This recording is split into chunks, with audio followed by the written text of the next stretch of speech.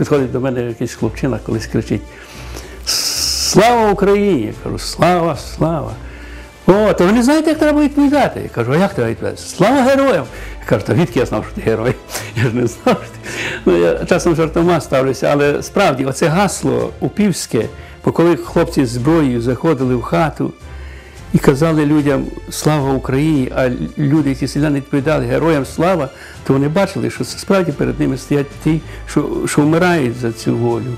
І це гасло сьогодні стало загальноукраїнським. Коли дивишся, коли стадіони кричать ці гасла е, Герої, Слава Україні, героям слава. Думаю, як ще недавно це було. Е, Я колись, коли був депутатом вже Верховної Ради, е, приїхав до Тернополя і був в готелі і гортав той довідник телефонний, і дивився Служба безпеки України, вулиця Бандери. І розсміявся. Думаю, та вам КГБ і треба. КГБ на вулиці Бандери. А, Я взяв, піднімав трубку, там якийсь підняв начальник генерал, каже, хочу зустрітися зі своїм слідчим. Бідьок.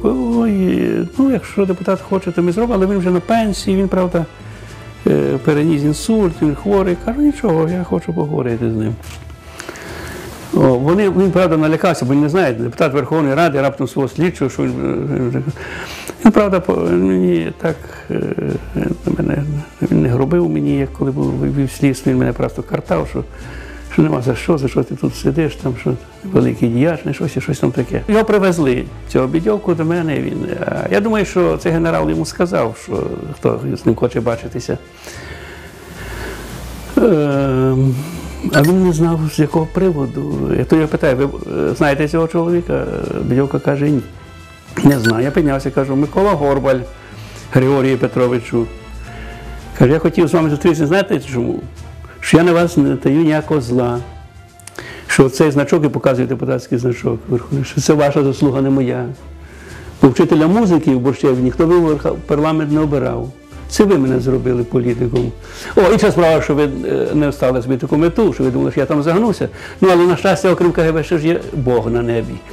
Ну, кажу, я справді хочу, знаєте, я хотів би, щоб ми з вами написали книжку.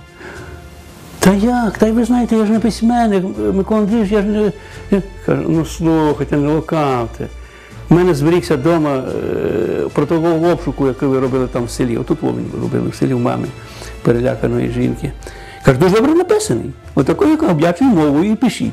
Чому ви, українець, в мені музиканта, вчителя музики, бачили ворога? Напишіть чому.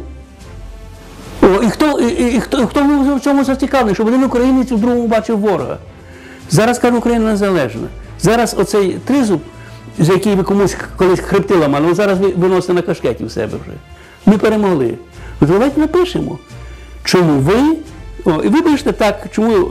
А я напишу, що я пережив, будучи у вас там в підвалах. Це буде дуже добра книжка. Це буде ця книжка буде для консолідації нації, щоб показати, хто був зацікавлений, щоб один українець судив іншого, щоб один українець вбивав іншого. Щоб і врешті-решт цього не допустити. І ви знаєте, він навіть походив. Дав мені свій телефон.